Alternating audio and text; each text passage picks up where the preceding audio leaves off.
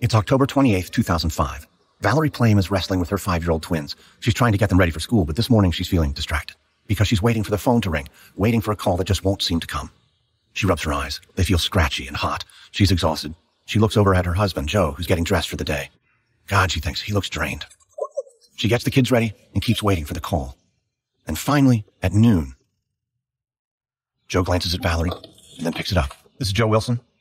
Plame watches her husband's expressions, trying to guess what the special prosecutor's office is saying on the other line. Uh huh. All right. I, I see. All right. Well, thanks for letting us know. He hangs up and Valerie shoots him a demanding look. So? The indictments are going to be filed within the hour. Fitzgerald is holding a press conference at 2. Libby's going down. Going down? On what? What are they charging him with? I do not know. What do you mean you don't know? Didn't they say? No, they were quick. That's all they said. Valerie exhales. Okay, she thinks. It's happening. It's actually happening. Soon, Wilson leaves the house and Plame has a welcome moment of solitude. She expects to feel relief from the news, but instead, dread and suspense bubble up. She tries to ignore the feeling, but it's no use. She can't relax. So she flips on the TV, hoping for an update on Libby. Just then, the news reports are coming out. Libby's been charged with one count of obstruction of justice, two counts of perjury, and two counts of making false statements. Plame watches the TV as Special Prosecutor Patrick Fitzgerald speaks from the White House press room podium. At the end of the day, what appears is that Mr. Libby's story that he was at the tail end of a chain of phone calls passing on from one reporter what he heard from another was not true. It was false. He was at the beginning of the chain of the phone calls, the first official to disclose this information outside the government to a reporter, and that he lied about it afterwards, under oath and repeatedly. Fitzgerald finishes, and next, President Bush makes an appearance. He announces that he's accepting Libby's resignation. Then Bush walks away toward a waiting helicopter. Plame looks out one of her windows, which faces toward the White House. It's only about two miles away. She can almost feel the thumping of the blades whirling as she watches the helicopter rise over the tree line and fly north toward her. She hears the chopper approaching, getting louder and louder. By the time Bush's helicopter passes over the house, it's like a jackhammer. Plame knows she should feel happy. Scooter Libby is facing major charges. But there's one thing missing. Libby hasn't been charged with blowing her cover. There's been no resolution, no accountability for the damage that she and Joe have faced. And that leaves her not depressed, not exhausted, but angry and resolved to take action. She's not about to let the administration just bury her. She's not going down without a fight. She and Joe will find a way to strike back. American Scandal is sponsored by the new Audible original Bad Republican by Meghan McCain. In her debut audio memoir, Meghan McCain gives a first-hand look into the life of the conservative rebel and departing co-host of The View. You'll hear what it's like to grow up as the daughter of an American icon and to mourn his loss very publicly just one year into her tenure as co-host of America's most watched daytime talk show. Her memoir also reveals how she handled attacks from the U.S. president and her thoughts on cancel culture, dating, and how our country treats new mothers. It's unsparingly honest, deeply relatable, and highly entertaining. Go beyond what you know about Meghan McCain from TV and your newsfeed. Visit audible.com slash bad Republican and listen now. We get support from the new podcast, Hemingway's Picasso. Stephen Coe lived many lives. He was an NFL journeyman, a male model, and one of the most well connected smugglers in 1980s Miami. Coe collected many souvenirs from his adventures, but his most treasured bounty, a beautiful ceramic crafted by Pablo Picasso and gifted to Ernest Hemingway at the author's Cuban home. So the story goes. Lost during the Cuban Revolution, the artwork resurfaced when Coe took it as payment for a drug run financed by the notorious Pablo Escobar. Coe passed away in 2018, passing the piece down to his son, Stevie. Stevie feels he needs to complete his father's mission of selling this piece and telling Steve's cinematic life story. Is the Picasso authentic or a fraud? Was Steve Coe a big talker or a real deal smuggler? Listen to new episodes of Hemingway's Picasso every Monday wherever you get your podcasts. From Wondery, I'm Lindsey Graham, and this is American Scandal.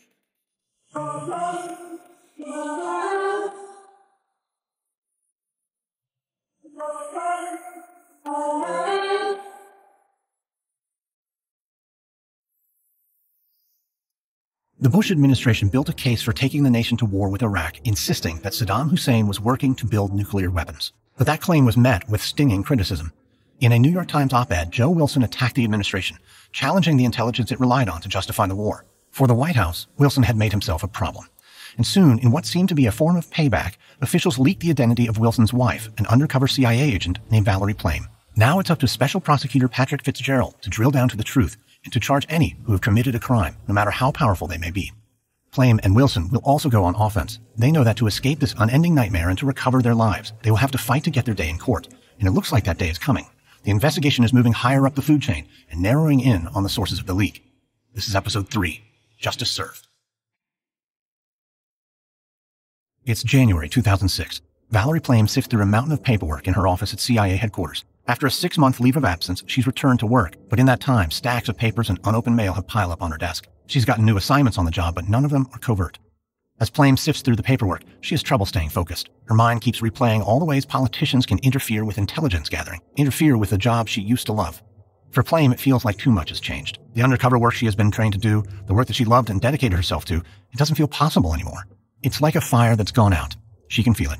She's done with the CIA. She hands in her resignation, and even though it's her choice, she feels crushed. The agency was a part of her life, but she knows she has to move on. But to what? It's June 13th, 2006, and Patrick Fitzgerald is packing his briefcase.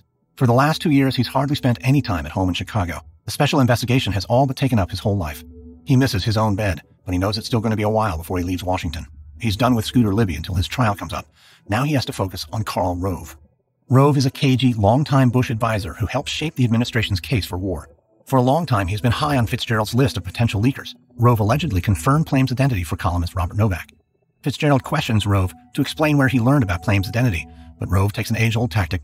He says he can't remember. Fitzgerald wonders whether Rove is covering up the truth.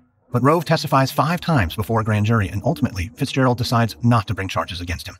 The prosecutor knows this will not be a popular decision in liberal circles, but from a legal standpoint, it's the right one to make. And with Rove off his plate, the investigation is finally over. But now he's got to refocus on Scooter Libby, whose trial is coming up in six months. Fitzgerald heads out into the humid DC evening and hails a cab. He considers heading to a nearby tavern so he can reward himself with a whiskey. It's tempting, but he decides against it because he's got Scooter Libby in his sights and he can't slow down now. It's late June 2006. Just days ago, Valerie Plame received the disappointing news that Karl Rove was off the hook. Now she and Joe Wilson have gotten more bad news. They're getting audited by the IRS. Plame is perplexed. Neither of them have ever been through an audit. So she calls their accountant. She gets to the point. Any idea why this is happening? None whatsoever. There's no reason for an audit. Nothing that would trigger one. Well, it's definitely not a spike in our income. For Plame, this is a dark joke, because ever since they've been in the spotlight, Joe's consulting business has taken a huge hit. And without her paycheck from the CIA, their income is just a fraction of what it used to be. Valerie, I- I'm sorry, but, but have you considered... Considered what? Well, that maybe you have some powerful enemies. Plame feels stunned as she hangs up.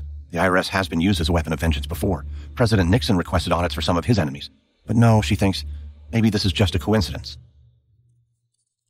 A short while later, something else happens though, and the audit starts to feel less of a coincidence. Plame is at her desk on the ground level of her home. She's concentrating, writing, when she hears a tap on the window. She looks up, startled. It's the family's longtime gardener. He gestures for her to come out. Something out here you need to see, Valerie. Plame furrows her brow and gets up. She heads out onto the deck. Take a look up there. Shielding her eyes against the sun, Plame cranes her neck and looks. Up above, the massive wooded deck is held to the side of the house by large, heavy bolts. Or should be. The gardener keeps pointing. The bolts are missing. Plame looks back down toward the lawn. It's a 50 foot drop. Could they have fallen out? Valerie, if they'd fallen out, they'd be on the lawn. Not. This is insane. We rebuilt this deck just a year ago. Everything was fine. Yeah. All I can tell you is you better get those bolts replaced right away.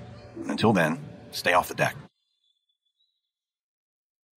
Plame calls the company that worked on the deck, and they assure her the bolts were installed when they finished their work. Otherwise, it never would have passed inspection. A chill runs up her spine. She hangs up the phone, and then she confronts a terrifying irony. When her cover was blown in 2003, she was worried that her family was at risk from Al Qaeda or some other international terrorist group. But now there's this unwarranted audit and the missing bolts, which could plunge her family into a 50 foot drop. She stares back at the deck, and worry begins to set in fully. It's not Al Qaeda she needs to worry about. The threat is coming from much closer to home. Her own government. It's July 14th, 2006.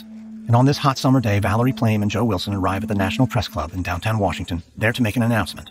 They walk down the brass railed staircase to the lobby, into the throng of frantic reporters and photographers. It's here they'll announce they're fighting back. Valerie Plame and Joe Wilson are taking the Bush administration to court. They're suing Dick Cheney, Scooter Libby, and Karl Rove. Their claim is that senior officials violated the couple's constitutional rights to free speech, due process, and privacy, and that they discredited Plame by disclosing she was a CIA operative. It's a major press event, because it's not every day that the vice president is named in a lawsuit. Plame is dressed in a pastel pantsuit with four strands of pearls around her neck. Calm and collected, she steps up to the podium and begins her statement. I and my former CIA colleagues trusted our government to protect us as we did our jobs. That a few reckless individuals within the current administration betrayed that trust has been a grave disappointment to every patriotic American. Joe and I have filed this action with heavy hearts, but with a renewed sense of purpose. I would much rather be continuing my career as a public servant than be a plaintiff in a lawsuit. But I feel strongly, and justice demands, that those who acted so harmfully against our national security must answer for their shameful conduct in court. Plame knows she has a major fight ahead of her, but she's not going to back down. In the small town of Fox Lake, Illinois, Joe Gliniewicz was a hometown hero and 30 year veteran of the local police department. On September 1st, 2015, just one month from retirement, he was found dead outside an abandoned cement plant, shot in the chest twice at close range. While the town and Joe's family mourned his passing, hundreds of police officers launched a manhunt to find his killer. After weeks of searching, the lead investigator discovered chilling secrets about Joe, the local police department, and the village of Fox Lake. These were secrets that once uncovered would put the town in the national spotlight and haunt them for years to come. Wondery's shocking true crime podcast Over My Dead Body is back for a third season with a story about corruption, betrayal, and the secrets of a fallen hero. Follow Over My Dead Body Season 3, Fox Lake, on Apple Podcasts, or you can listen early and ad-free by subscribing to Wondery Plus in Apple Podcasts or the Wondery app. This year marks the 20th anniversary of the attacks of September 11th, but I don't want to talk about that day. I want to talk about the next day and every day after that. I'm Dan Taberski. I'm the host of the podcast 912. Hear stories about how 9 11 the day became 9 11 the idea. 912 is available now on Amazon Music.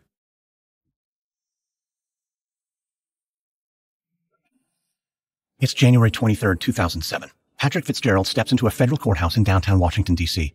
It's day one of Scooter Libby's trial, and the building is already packed. Fitzgerald gazes at the throngs of reporters and bloggers who are here to write about the trial. Feels like a zoo. They're packed in so tight, those who can't fit are moved into an overflow room. Fitzgerald knew it would be a spectacle, but this? And it's not just reporters. People have waited in lines for hours to get passes to what seems like a national event, a trial in which a top White House official, the man closest to the vice president, could face severe punishment. Because in this trial, Scooter Libby faces up to 30 years in prison and $1.2 million in fines. Fitzgerald knows he has to make a compelling, forceful argument. And so in the courtroom, as the trial opens, he begins with a fiery opening statement. The evidence will show that the defendant learned that Wilson's wife worked at the CIA from the vice president himself, Fitzgerald says. He also talked with more than one reporter about Wilson's wife working at the CIA. When the FBI and the grand jury asked questions about what he did, the defendant lied. He made up a story. How did we get to the point where the chief of staff to the vice president of the United States is lying repeatedly to the FBI and to a grand jury? Well, that's the story of this case.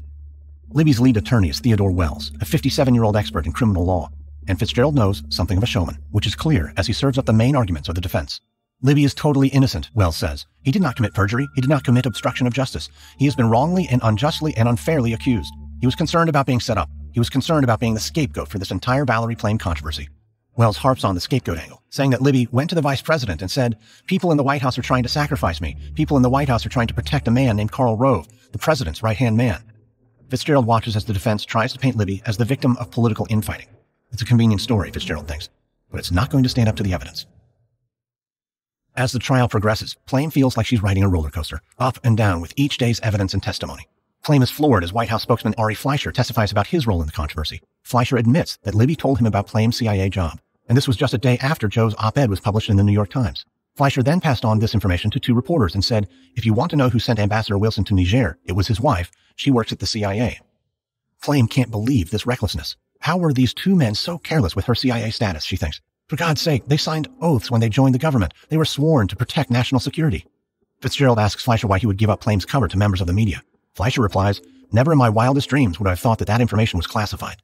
This is unbelievable, Plame thinks, treating such delicate information as just more juicy DC gossip. And this guy works in the White House?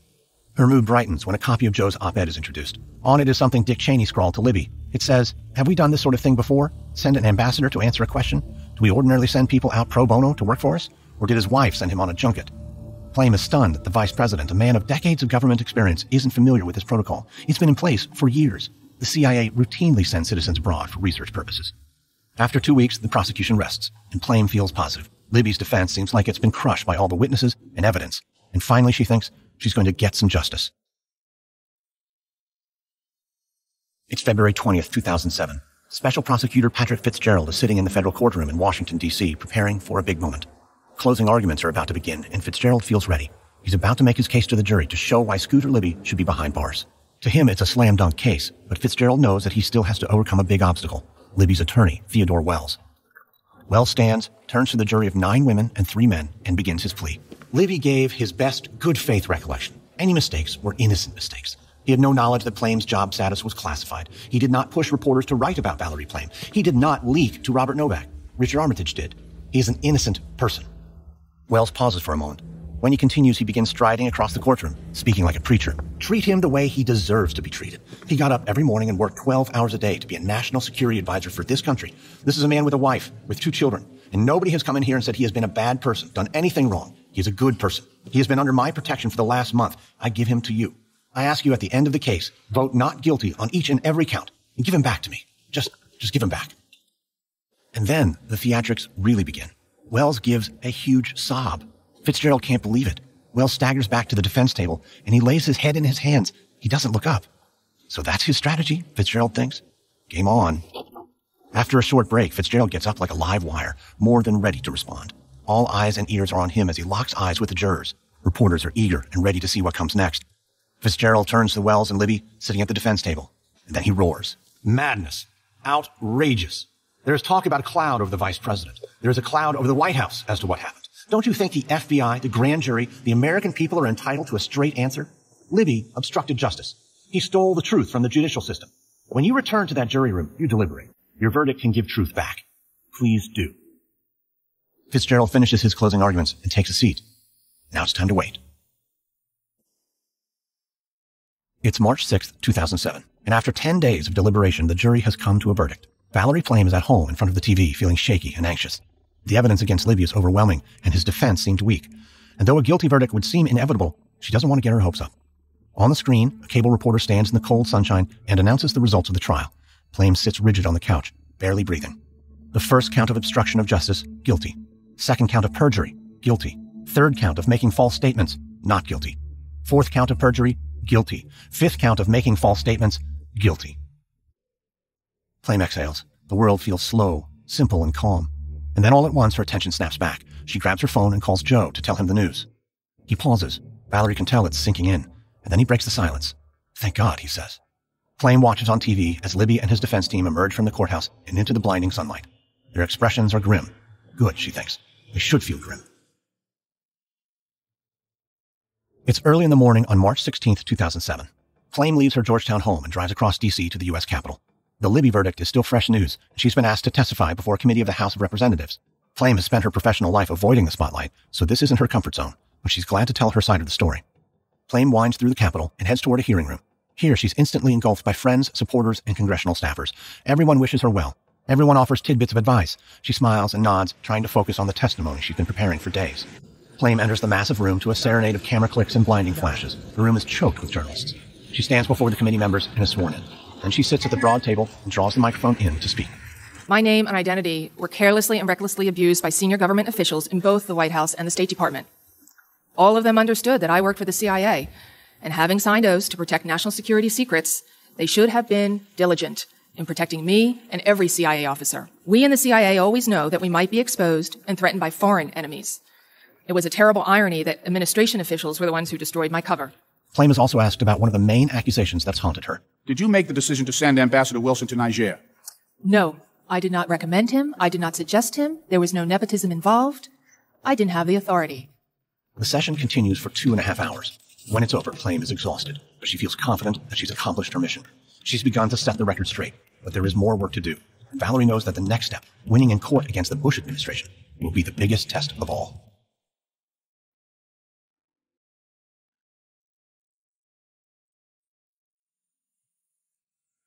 It's June 5th, 2007. It's a stifling hot morning at the federal courthouse in Washington, D.C., and already there's a crowd. Reporters, bloggers, photographers, spectators, they're showing up in droves because something big is about to happen. Louis Scooter Libby, former chief of staff to Vice President Cheney, is receiving his prison sentence. It's a milestone for Special Prosecutor Patrick Fitzgerald. For the last two years, he's been investigating the leak of Valerie Plame's identity. He's had to work tirelessly, and he's had to make some hard decisions about who he's going to prosecute. Fitzgerald had investigated a number of suspects. Karl Rove, Richard Armitage, Robert Novak, and Dick Cheney. Evidence revealed that the vice president and Scooter Libby misled some of the president's senior officials, all in an effort to keep Cheney's name clean. But after interviewing Cheney, Fitzgerald had decided Libby was his best bet. After all the testimonies, after a month-long trial, it's all come down to this morning, when Scooter Libby will get his sentence. Fitzgerald steps out of a cab, dressed in a seersucker suit and a sky blue tie. He walks towards the courthouse, thinking about how much time Libby should spend behind bars. Libby's defense team is asking for just probation, but Fitzgerald is disgusted by that. Libby has never actually admitted to any wrongdoing, never shown any remorse. Fitzgerald has decided he's asking for 30 to 37 months. He makes his way through the throng of press and into the courthouse, and there he meets with his team. Fitzgerald sees Libby shaking hands with his lead attorney, Theodore Wells. Libby's putting on a cool game face, grinning and patting team members on the back. Fitzgerald has seen it all before, the false bravado, but he knows that's not enough to sway a judge. Not nearly enough. And just then, U.S. District Judge Reggie B. Walton enters, and Libby's attorney steps forward and offers his argument. In the White House administration, Mr. Libby was an island of virtue and good sense. Wells offers up letters from supporters. They include some of the biggest names in political history, people like former Secretary of State Henry Kissinger and former Defense Secretary Donald Rumsfeld. Wells continues. I submit there's no need to incarcerate. Public humiliation combined with exceptional public service to the nation would justify the court not to incarcerate. Wells finishes, and then it's Libby's turn. He rises and speaks flatly. My family and I appreciate the consideration shown to us during this conviction. In all that time, I have received nothing but kindness from the court's personnel, your honor staff, court administrators, U.S. marshals, court security officers, and probation officers. I am grateful. Now I realize fully the court must decide on punishment. I hope the court will consider my whole life. Thank you, your honor. Fitzgerald shakes his head. Still no remorse or apology. Well, now it's his turn. He stands, looks at Judge Walton, and begins. We need just to make the statement that truth matters ever so much. One station in life does not matter. Mr. Libby does not deserve special consideration because of the public service he has rendered or the high government positions he attained. Fitzgerald finishes his speech and sits, and then everyone waits for the judge, who looks around the room and clears his throat to speak. I think the investigation that was embarked upon in this case was extremely serious, and the conduct that Mr. Libby has been convicted of that impeded the investigation is serious behavior. There has to be a sentence that promotes respect for the law, and individuals have to understand that when you transgress the law, there are consequences for that. Fitzgerald swallows hard and waits. Fitzgerald steps out of the courthouse and back into the humid DC air. He's immediately hounded by reporters. With cameras rolling, they pepper him with questions. But Fitzgerald doesn't say a word. He doesn't need to, because Judge Walton's sentence speaks for itself, and soon the world will know about his victory in court. Today in a Washington courtroom, Judge Reggie Walton threw the book at Louis Scooter Libby. He sentenced the former top aide to Vice President Cheney to 30 months in prison. Libby, you may recall, was convicted in March. Scooter Libby became the highest ranking White House official to be convicted in 20 years, and the American people were reminded that even people in power, people with friends in high places, even they are not above the law. Fitzgerald heads away from the courthouse, exhausted but satisfied. Once again, justice has prevailed. But for Valerie Plame, justice seems to be missing. It's July 19, 2007, and a federal judge has just dismissed her and Joe Wilson's civil suit against senior members of the Bush administration. According to the judge, defendants can't be held liable for the leaks since passing on such information is part of the official's basic duties. The judge's decision did not break the way Plame had hoped, but it also has not broken her. She feels resolved. She won't just roll over for Washington power brokers. She has a new plan, one that will be on her own terms. Three years later, in November of 2010, Valerie is happily ensconced in the Santa Fe, New Mexico ranch she shares with Joe, a world away from her life in Washington. The legal system did not deliver the outcome she wanted, and she suffered another setback when President Bush commuted Scooter Libby's sentence, sparing him from 30 months in prison. But she knows her story isn't over, and she puts pen to paper, writing Fair Game, an autobiography that earns her a seven-figure paycheck and attracts Hollywood filmmakers to her doorstep. The CIA barred Plame from collaborating with screenwriters about her covert activities, but that turns out to be merely a speed bump, since Plame gets to see her story receive renewed attention. In the film, Sean Penn plays Wilson, and Naomi Watts plays Plame, in a story that tracks their fight for the truth against the Bush administration. It's a message that gets amplified in press interviews, including one that Wilson gives with MovieWeb. Well, I actually think the strength of our republic depends on citizens exercising their responsibilities as citizens to hold their governments to account for what a government does and says in the name of the people. And nowhere and at no time um, is it more important than when your government is contemplating sending our fellow citizens off to kill and to die in our name. Um, I've never had a second thought about whether it was appropriate to write that article or not. Um, I've had lots of thoughts about why my government, uh, the Bush administration, decided they were just going to continue to lie to the American people until I wrote that article. It's April 13th, 2018. Plame wakes up to a lovely Santa Fe sunrise. She makes coffee and fires up her computer, and she checks the New York Times website, spotting a story that will be the final chapter in the leak saga that began 15 years ago. President Donald Trump has granted a full pardon to Scooter Libby, who was convicted of perjury and obstruction of justice in the leak case in 2007. In the article, Trump is quoted, I don't know Mr. Libby, but for years I have heard that he has been treated unfairly. Hopefully this full pardon will help rectify a very sad portion of his life. It's a last, bitter twist in the drama that turned her existence upside down, but she feels there's an overwhelming subtext to the president's action that feels much too familiar to her. Five days later, Plame appears on NBC News to explain her thoughts. This is definitely not about me. It's absolutely not about Scooter Libby. It's about Donald Trump and his future. It's very clear that this is a message he is sending uh, that you can commit crimes against national security and you will be pardoned. It's now May 9th, 2019. After 12 years of living in New Mexico, Plame has decided to give up her soccer mom status and long sought privacy. She announces that she's running for New Mexico's 3rd Congressional District as a Democrat. Plame tells the press that the focus of her campaign will be healthcare issues, and she reveals something else. After almost two decades of marriage, she and Joe Wilson had a quiet, unpublicized divorce in 2017. If she wins, she'll be able to give back to the state she knows and loves because she knows the ins and outs in Washington and figures her notoriety will bolster her run. That notoriety is highlighted in her campaign video, which plays heavily on her CIA cloak and dagger past. It features her in a black Chevy muscle car on a dirt road in the New Mexico desert, driving at top speed, backwards. I was an undercover CIA operative. My assignment was preventing rogue states and terrorists from getting nuclear weapons. You name a hotspot, I lived it. We need to turn our country around. And yes, the CIA really does teach us how to drive like this. Joe Wilson died in September 2019. He took many hits over the course of the leak scandal. Some saw him as a patriotic whistleblower. Others viewed him as responsible, in part, for his wife's blown CIA cover. Opinions are equally varied on the guilt of George W. Bush, Dick Cheney, Scooter Libby, and other top administration officials. Did they lead the country into war with Iraq with twisted and false information? Or did they do what needed to be done to fight a war on terrorism? The Valerie Plame affair began with a leak, but ultimately it was a controversy about political power and the struggles that Americans can face when they challenge that power. Valerie Plame was a devoted servant of the CIA, an organization founded on protecting the safety of America, but her own safety was betrayed when her cover was blown. In the wake of the scandal, she became collateral damage, thrust into a position she did not deserve and certainly did not want on the nation's march to war. Next on American Scandal, we speak with journalist Matthew Cooper. In 2003, he was the White House correspondent for Time magazine, covering the Plame affair. But he became part of the story in 2004 when he was held in contempt of court for refusing to name the sources who had disclosed Valerie Plame's identity to him, setting off a debate about the role of journalists in protecting their sources.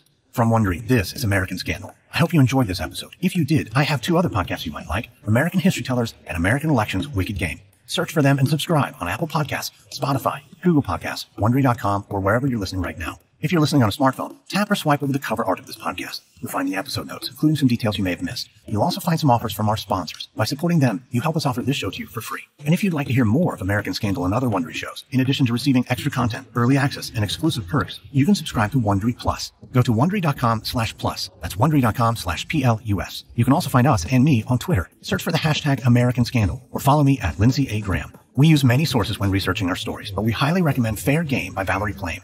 The Politics of Truth by Joseph Wilson, and Hubris, the inside story of spin, scandal, and the selling of the Iraq War by Michael Isikoff and David Corn. And just a quick note about our reenactments. We can't always know exactly what was said, but everything in our show is based on historical research. American Scandal is hosted, edited, and executive produced by me, Lindsey Graham for Airship. Sound designed by Derek Behrens. This episode is written by Peter Gilstrap. Our senior producer and editor is Karen Lowe, produced by Gabe Riven. Our executive producers are Stephanie Jens, Jenny Lauer Beckman, and Hernan Lopez for Wondery.